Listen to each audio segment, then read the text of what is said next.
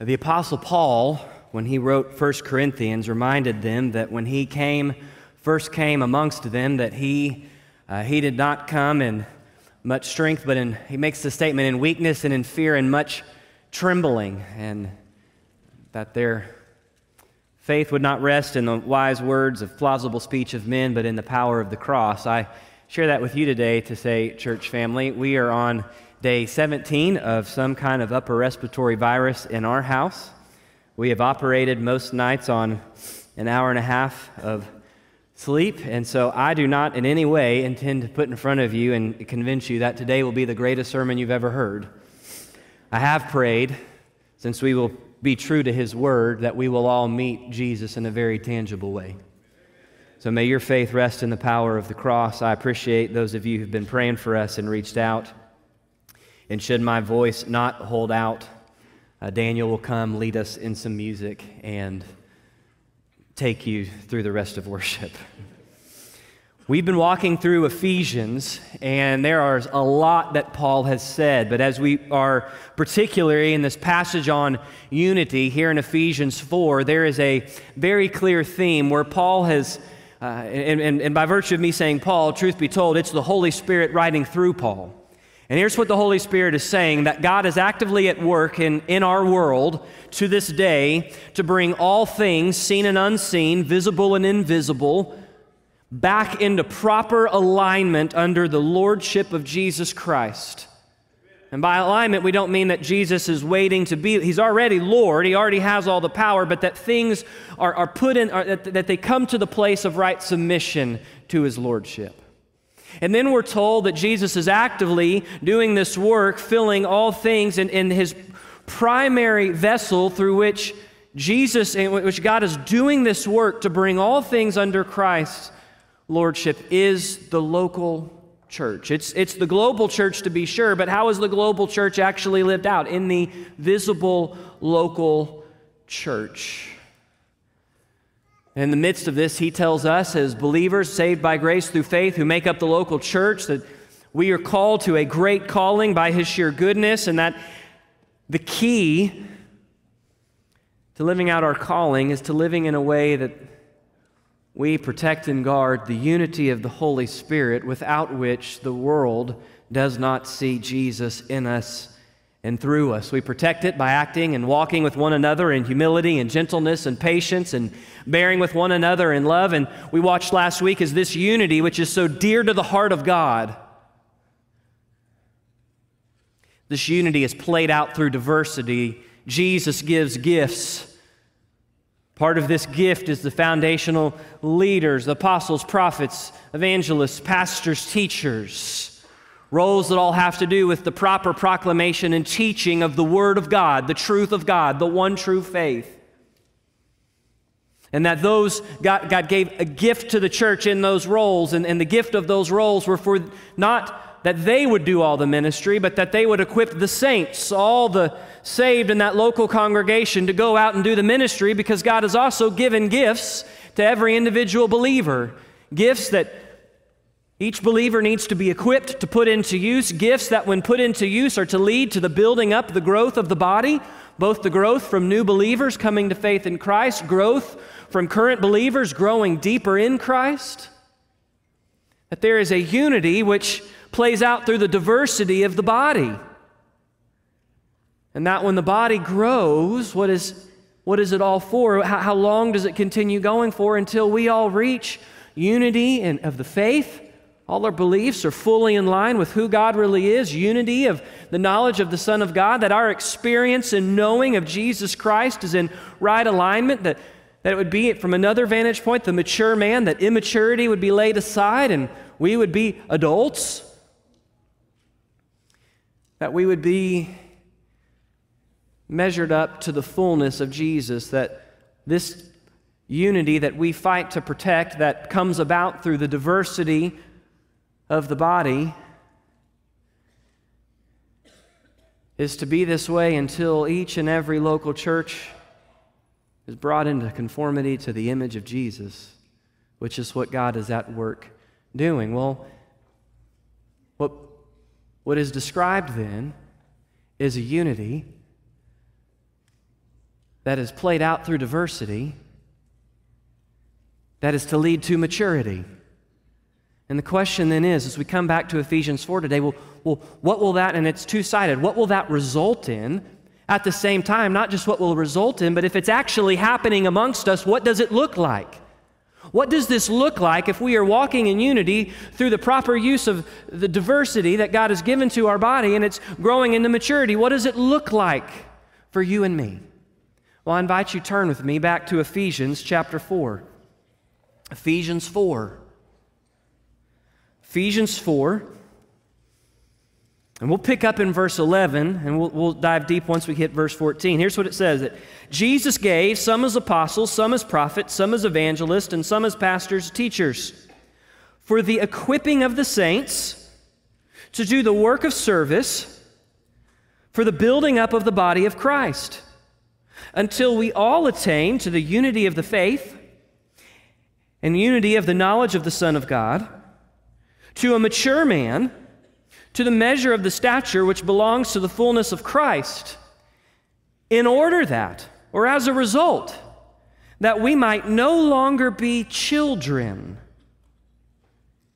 Children the, the, literal idea is in contrast to one who is a grown up, who has fully developed powers of reasoning, who has strength, that this is a child, one who is, who is susceptible to, to the ignorance of immaturity, who is susceptible to the gullibility of immaturity, who is just susceptible to immaturity, the self centered focus of immaturity. That, that the goal of unity through diversity to maturity would be that we would no longer be immature Christians.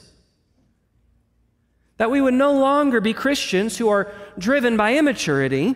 And what does this look like? Tossed here and there, violently thrown back and forth, tossed here and there by waves, carried about, pushed along by every wind of doctrine, by the trickery of men, by craftiness in deceitful scheming.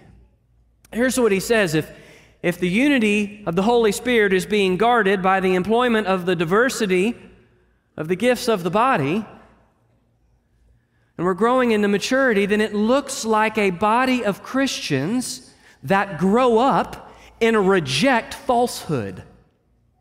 It looks like a body of believers, it looks like local churches growing up where they are no longer tossed to and fro, where they're no longer driven by the immaturity of youthfulness, but they grow up and reject falsehood. And look how he describes falsehood. He uses a wide array of, of words, no longer tossed here and there by every wind of doctrine, every wind of teaching or instruction. That we no longer hear somebody say something. That, that Instagram theologian had a really good looking podcast and said this wild thing, which has always been condemned historically in Christianity. But now, because it's accessible and a really good looking podcast, it must be true. We're not to be driven by stuff like that anymore. Every wind of teaching, instruction. By the way, always remember when it says doctrine, or maybe your Bible says teaching, don't, don't forget that teaching, instruction, doctrine always leads to action. Don't just hear this as, oh, this is just, we're talking false theology. Yeah, and false theology, what does it produce? False living says every wind of doctrine. Not only that, he describes it in this way the trickery of men, the cunning, the clever use of ruthless tactics. It was used to describe somebody playing dice games with loaded dice. By the cunning, by the craftiness in deceitful scheming, by deceitfulness employed by those with wicked and malicious character and intentions, deceitful, intentional falsehood, scheming, a method, a well thought out plan. When he says that we would no longer be children tossed to and fro by the waves, carried about by every wind of teaching, by the trickery of men, by the deceitful and, by the, the craftiness and deceitful scheming. Here's what all of that means it means when you and I look around and we see people taking the Word of God and twisting it to justify things that violate the Word of God and the character of God, understand those arguments, those teachings, they are not some kind of, well, we just accidentally fell into it. There is intentional, brilliantly deceptive, scheming methods. It has been a well crafted plan, that false teaching, for the purpose of bringing destruction. That's what those word means. It means the enemy starts with the enemy, it plays out through human hands, has put and employed cunning and tactics to put together, to string together a plan to ruin the faith of the children of God. That's why you will watch the first and primary way the enemy will come against the unity of the church is always to obliterate sound doctrine through the twisting of Scripture. It's why when you look at historically, you had people attempting to take the Word of God to say Jesus is not the Christ. Just like the enemy took the Word of God in the garden and said, Did God really say? That's why we've watched false doctrine like people taking the Word of God to justify things that violate the character of God, like slavery. It's why in our own day we're watching as the Word of God is now employed to say that God did not, in fact, create human beings, male and female, unique and distinct. It's why we're now watching as this election cycle plays out the Word of God being used to justify the slaughter of an innocent life in the womb which the Word of God never justifies and, condemns in the strongest language.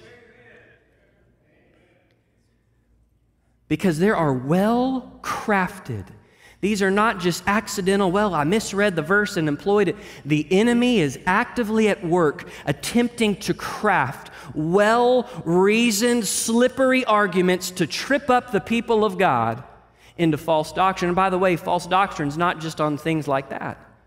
We see in Scripture. False doctrine was people coming and saying, Jesus is the Christ, be saved, be saved by grace through faith in Jesus, but then your whole relationship with Jesus is built on your own works. The book of Galatians. False doctrine can take that way too. Wrong understandings about who God is and how He works. By the way, false doctrine is not only those theological things, false doctrine can simply be that instruction which teaches you and I as a believer that what God is up to is all about us. Such that when I believe that, my actions play out. Well, when we don't do something where I want it done, when I want it done, in the right time, in the right location, in the room that I want, well, then I'm going to cause a stink about it. That is just as much being tossed to and fro by false teaching that produces false living. And it says that if we are walking, preserving, and fighting for the unity of the church, if we are employing the diversity of God's gifts to us as a church, if we are growing up into maturity, then there is a rejection of falsehood. There is a rejection, a growing out of the ignorance. That's some of the reason we fall into false teaching is straight up we're ignorant. And we're ignorant because, well, I don't want to learn that kind of heady information. I just want to I just want something that makes me feel good today and go out. Well, listen, I'm not opposed. The guy's not opposed to anybody feeling good. But if all I want is something that feels good, at some point, I, I got to learn enough truth to be able to combat the unbelievable amount of false doctrine that's being thrown everywhere in our world today. Some of our problem for stumbling is we're ignorant. We got to grow up out of ignorance. Some of it is we're gullible. Well, this guy said he's a pastor and he said this, so it must be true. We need some discernment. I don't care who calls himself a pastor. Even my words ought to be completely and totally discerned against Scripture. Do they line up with what God's Word says? Yes or no? Individualism, maturity rejects these things. And here's the iron do you see how the, the falsehood is ultimately rejected? We're to grow out of being tossed to and fro. Do you see the connection here? The connection of no longer being tossed to and fro, of growing up out of that, it is tethered to being a part, an active participant in the local body of Christ. Let me put it another way if you cut yourself off from the local body of Jesus, You pursue, I, I, the church is messy. I don't want to be a part of church. There's no good church anywhere in the world. I'm going to do it all on my own. Let me be clear. You are setting yourself up on an island that is at great risk for you to succumb to false doctrine. Church family, are we rejecting false teaching no matter how popular it is, no matter how convincing it may be, or no matter how self satisfying it may make me feel? Not only are we to reject falsehood, but look in the opposite direction, or not just to reject it, but there's a way to reject it. Look what he says. As a result, we're no longer tossed to and fro, but look verse 15, but speaking the truth in love. Speaking the truth in love. Literally, the verb is truthing in love.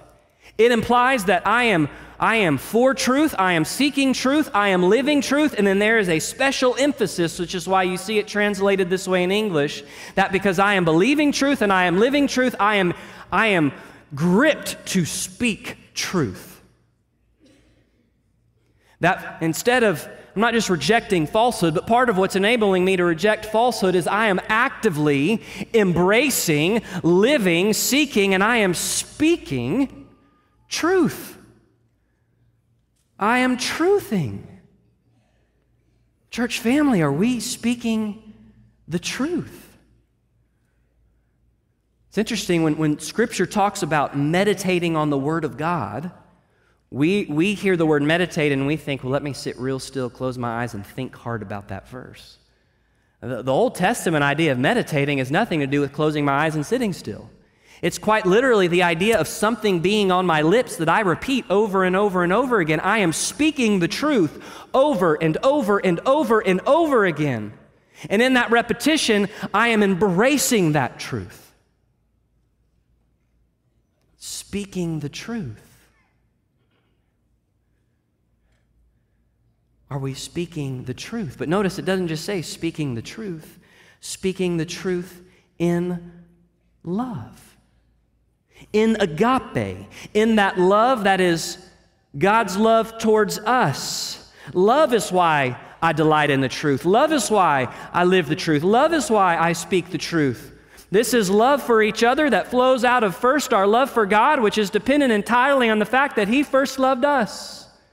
It's agape love, which is God's love towards us, not on the basis of what we can offer God, but out of God's sheer goodness the value with which He looks at us and, and, and, and, and loves us out of the value He places on, which means this if you and I are to love each other this way, we don't love each other on the basis of what each other can do for, each, for me. Means as pastor, I'm not to love you as my church family because of what you can do for me.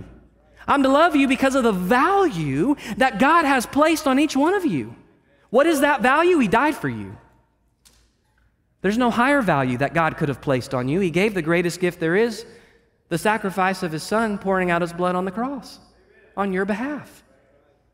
It says, it says love is to drive why I speak. Why do I speak truth? Why do I speak truth in opposition to falsehood? Listen, falsehood, it is a, it is a devious, well planned message designed to ensnare you for the purpose of destroying you. There is no lie that ever leads to life, it only leads to destruction. So if I love you, that should motivate why I speak the truth. If we love each other, it should motivate why we speak the truth to each other.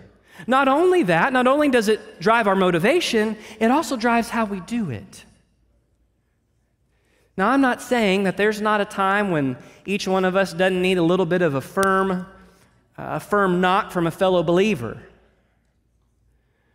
But it is oftentimes, I have watched in the body of Christ as you have people who claim to be believers, and they may or may not be, I'm not trying to make that judgment, but you've got people in the body of Christ who claim to be believers, and you've got a portion that begin to drift into false teaching. And then it seems like you've got a portion, they're going to be the, the bulwarks, they're going to stand against the false teaching. And there is not a drip of love in any way they do it. They're just sitting there waiting for the next person, to, to, to, the next big pastor to show their hand at maybe being a heretic, and boom, the YouTube video's up blasting them. Listen, you and I are to speak the truth driven by love, and we're going to do it in a way that is reflective of love. We've already seen that in humility, gentleness, patience. By the way, when, when Galatians 1 talks about how you go about confronting a brother in sin and then walking through the process of restoring them, which that's a pretty confrontative process. We're calling you out on your sin. There's fallout for the consequences of your refusal to repent. But Galatians 6:1 talks about that that process has to be done. If it's going to be done God's way, has to be done with gentleness. That without gentleness it's impossible to restore a brother. You and I are to speak the truth in love. So, church, let me just ask you a real simple question Do you love, church, uh, love truth today? Do you love truth? Are you gripped by not accepting anything until you arrive at the truth? Now, not only that, look around the room today. Now, some of you may be guests today, and so I'm not putting this pressure on you. Going, I don't know anybody here, Pastor. It's not on you if you're a guest. Many of you in this room, you are members of this church. Look around this room. Do you love the people you see? Do you love them? I don't mean that manipulatively. But if we are to be a body, a local body of Jesus, that fights to preserve the Holy Spirit's unity. We're going to walk in humility and gentleness with one another. We're going to be patient with one another. We're going to bear with each other's annoyances and problems because we actually love each other. We're going to reject falsehood. And in fact, when we see people moving into falsehood, we're going to speak the truth. And we're going to speak the truth because we actually love each other. And the sad reality is, in many churches today, we don't actually love each other. And sometimes we don't love each other because we don't flat out know each other. Church family, do you love each other? Do we love each other? It is that love which is to drive. When you look around, do you see people Jesus died for? And you go, wow, this is intense, Pastor. We're to speak the truth. We're to do it driven by love. We're to do it in love. That's really tough. I got great news for all of us, church family. If you've been saved by grace through faith, the Holy Spirit of God lives inside of you. The Holy Spirit of God lives inside of us to enable us to live the Christian life. Do you know what the Holy Spirit of God is called? The Spirit of truth. What is He doing in us? He's convicting us of truth. And the Holy Spirit of God produces fruit in us. And do you know what the first fruit of His fruit is? Love. It is possible, church family, for you and I to be committed to seeking, delighting in, living out, and speaking the truth to each other because we love each other. Oh, may it be. So, what does a mature church look like? It's one, it's one which presently and continuously lives in and speaks out the truth of God in love. And as we do this, look what else it says. But speaking the truth in love, we're to grow up in all aspects into Him who is the head, that is Christ.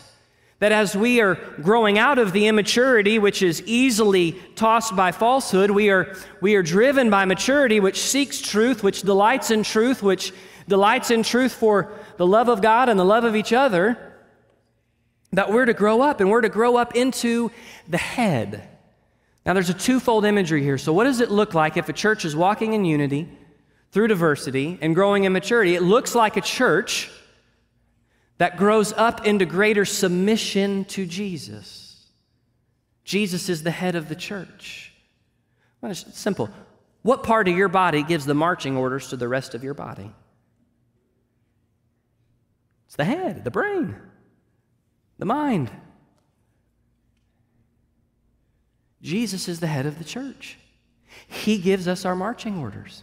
He is the one who reigns over us. He is the one who defines us. He is the one who empowers us. You and I, if we are to grow up as a body into the head, means as a church, we are growing up into greater submission, greater obedience to Jesus, which, by the way, inversely means this.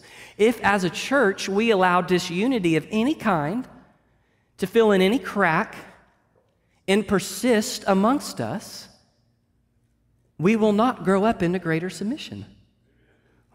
We'll, we'll plateau and we'll stay in whatever level of disbelief we have. Not only this, but the head imagery here is, is not even so much on the head's ruler, but where does your body get the source for everything it needs to grow? Where, where is the sustenance come from? Comes from your head. Now you're going to go, well, there's all these other systems. And yes, but you need water, you need food to live. Where does it come in? The head. If, if your arm gets cut off, and I'm not trying to be morbid today, but if your arm gets cut off as a child, now your arm won't grow back, but shockingly, the rest of your body will grow like normal. Why? Because the, everything the body needs for its growth ultimately comes from the head. That's the drive. It's Jesus. It's Jesus who actually enables us to grow. And so when we walk in unity, when we fight for the, the unity that Paul's talking about, that the Holy Spirit gives, when we are faithful to be equipped and to employ the di- diverse gifts God has given us, when we grow into maturity, what it means is not only do we grow into greater submission to Jesus, obedience, we also grow into greater dependence upon Jesus. Which inversely means this if we allow any disunity to, to foster, you know what that means as a church? It means we cease growing into greater dependence on Christ. You say, well, why is Christ, why is it so necessary? Well, look, look what it says. We are to grow up into Him who's all respects the head, that is Jesus, from whom the whole body,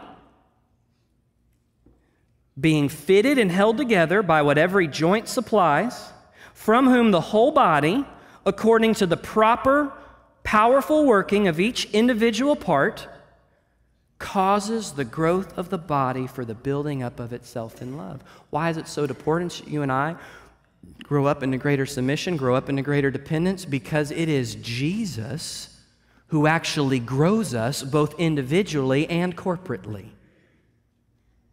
You want to grow as a believer? You want to grow as a church? It's only Jesus is the one who provides that growth. Now, look, when you say Jesus is the one who provides that growth, well, okay, are we we're just no? There's things we need to understand. Look what it says: from whom the whole body, being fitted and held together. We've seen that word "fitted." It's a passive. It's a passive uh, verb, and here's why it's important. You and I don't fit ourselves. What it describes is the fact that Jesus, as He has put us together as a body, He has sovereignly brought believers together for such a time as this to be First Baptist Church Pflugerville. And in each one of us, each one of us have a unique gifting, wiring, ability that God has sovereignly picked. And in his, in, in, in his fitting us, we have a specific place to play that if, is vital to the health of the body. He's the one who's fit us. He's the one who, in fitting us to take unique places in the body, holds us together. And this plays out. We've been uniquely fitted by Jesus. We're being held together by what every joint supplies, according to the proper working.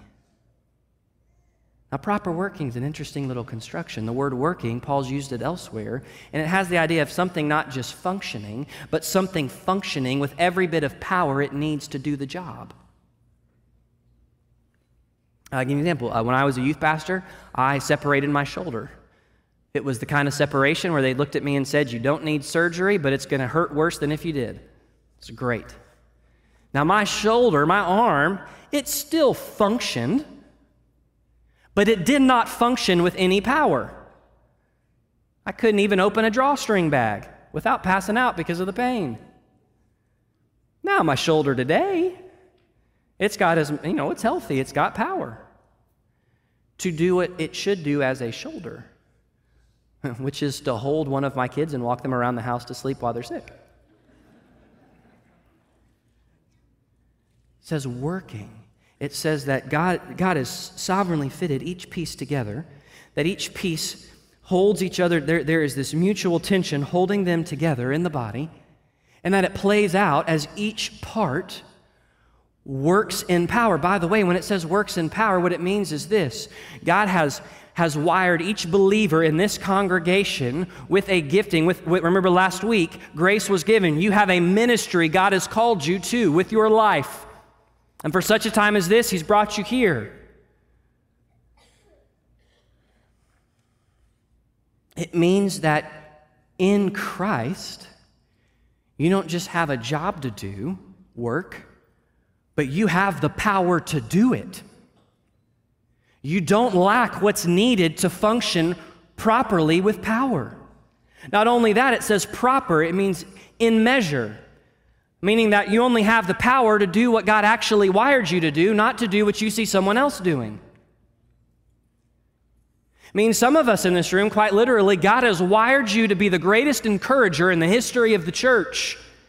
But encouragers don't get as much attention as teachers, and you can spend all your time desiring to be a teacher, but God didn't give you the power to be a teacher, He gave you the power to be an encourager. And I would argue in our churches today, we have a desperate need for all the people who say they have the gift of encouragement to do it because we're all so discouraged. And by the way, it's not greater to be a teacher or an encourager, it's greater to be faithful. The proper working. Now, church family, understand what this means as everything works properly in the power of Jesus, Jesus is the one causing us to grow, but we also contribute. We come under what He's causing to do. The body grows. And as each part functions properly, the body grows, and the body grows for love. Grows in love, grows more loving with one another. Listen, church family, understand today you have been master designed by God. Ephesians 2:10 to fit a role in the body of Jesus. Are you fulfilling it? Each believer who is a member has a part to play. And let me be clear you have a part to play no matter your age or generation. There is a part for the five year old new follower of Jesus just recently saved by grace through faith, and there is a place for the 95 year old who's known Jesus for 80 years. Just because you are old does not mean you get to retire, and just because you're young does not mean you're exempt. You may need to be equipped to fill your role properly. It may be that, that God's got a ministry for you, but you're not quite ready to step in it, and you need to come under the, the equipping of the leadership God's put in the church in order to function properly. You will need to trust Jesus for the power to do whatever it is God's made you to do. And you must work in His gifting and not try to be someone else. An elbow should never want to be a knee. If you're an encourager, be an encourager. Administrator, administrator. A teacher, a teacher. Listen, church family, I want to be clear. No church's pastors can do all the ministry, nor does God charge them to do it. God charges us to do the work of the ministry. And notice it is as each part plugs in and works properly that the body grows, which means this reversely. If in a church there is a refusal to employ what God has wired me and gifted me to do, for whatever reason that may be, it means the body will not grow as it ought. How many churches are there ministries waiting to be started? That the people God's called to start them, for whatever reason, won't just step forward. And so the body is growing deformed. Now, listen, I want to be clear. When I say God's called you to a ministry, I don't necessarily mean God's called you to find a spot for a church program. Some of you, God's called a spot to a church. We got a big thing called Harvest Festival coming up. We need a lot of volunteers for it. But I mean ministry so much broader than just what we do with church programs. Some of you, God's wired to be great evangelists in your job. And you're going to have opportunity to preach the gospel, to speak and live truth to people I might never come in contact with. Church family, we must take up our place. And as the body grows, Jesus grows the body through the proper working of each part. And as the body grows, it's to grow and function in love. Now, let me be clear on something, church family. As a follower of Jesus, you will never thrive. If everything here is true, by the way, that's rhetorical. It's true. God wrote it. And God has sovereignly fit you to fit a place in the life of a local church. And that your maturity and my maturity are dependent upon all of it functioning rightly together. It means very simply this you will never thrive as a Christian if you cut yourself off from the life of the local church. Every one of us as human beings long to belong. And as Christians, we do belong. But too often, the body of Jesus, expressed as our local church, gets shoved down the totem pole.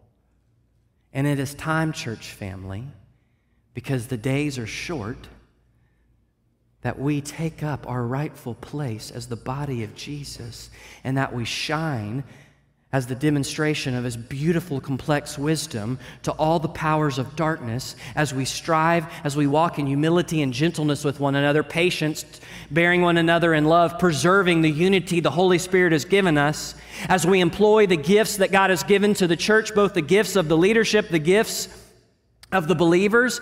As we grow up into maturity as we reject falsehood as we as we live and speak truth in love as we grow up into submission and into greater dependence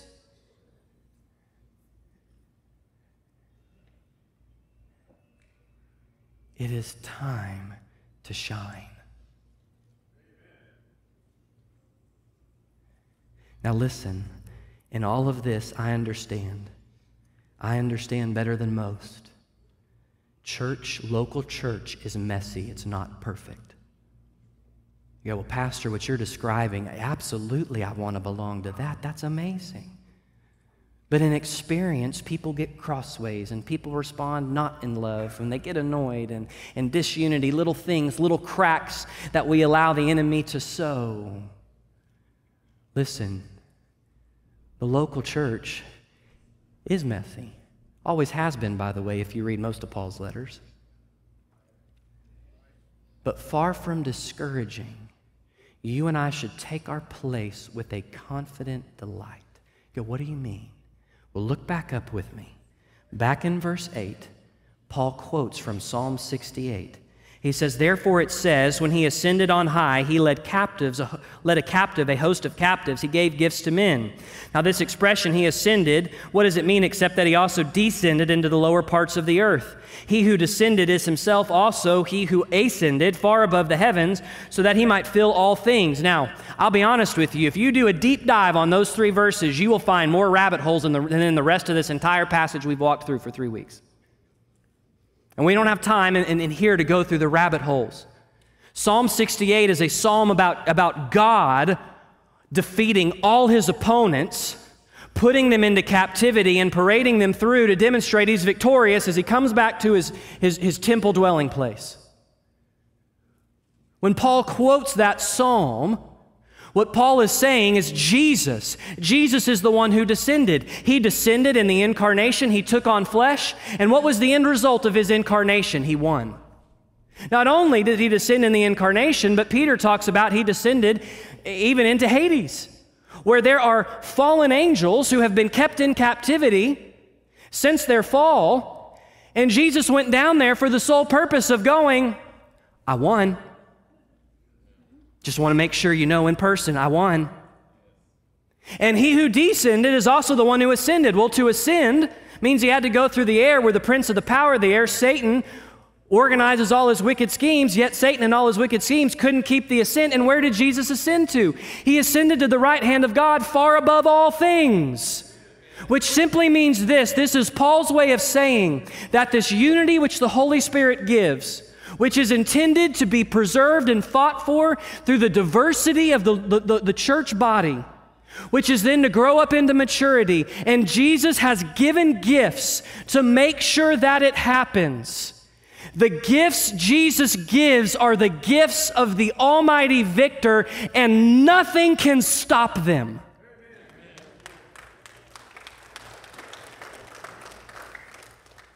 So, yes, the local church is messy. Yes, there are real hurts we may have to work through. Yes, there must be humility to apologize, to forgive. Yes, we'll see all of these things in the weeks to come as Paul fleshes out what the Christian life is to look like.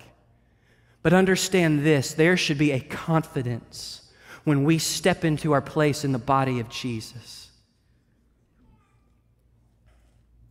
Because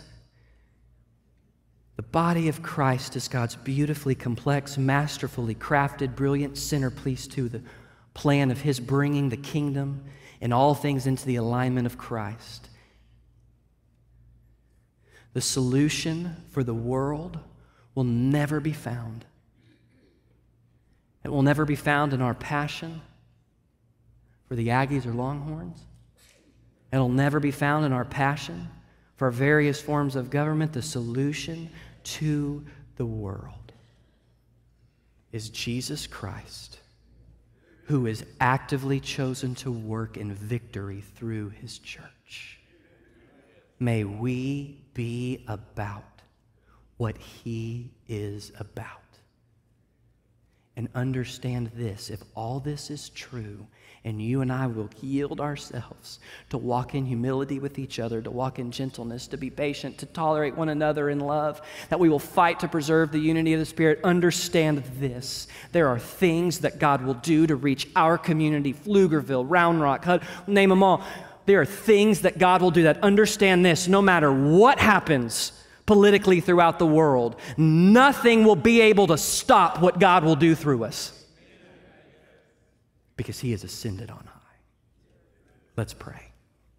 Jesus, we look to you.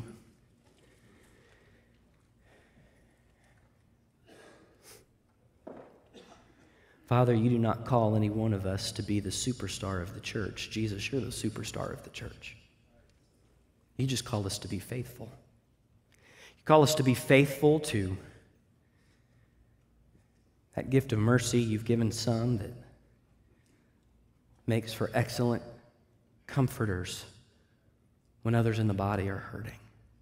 Call us to be faithful, to pick up the phone when you bring someone's to mind and to call them and to encourage them for those who you uniquely wired with the gift of encouragement. You've called us to be faithful. Jesus, may we as a church body in these hard days, may we prove more passionate for your will in the church. Than for all the other things that we are passionate about. Not because it's all about this church or the church, Jesus, it's all about you. So, Father, may we be the unified body you intend for us to be. Jesus, we look to you. May we respond as you are moving, Holy Spirit. It's in your name I pray, Jesus. Amen.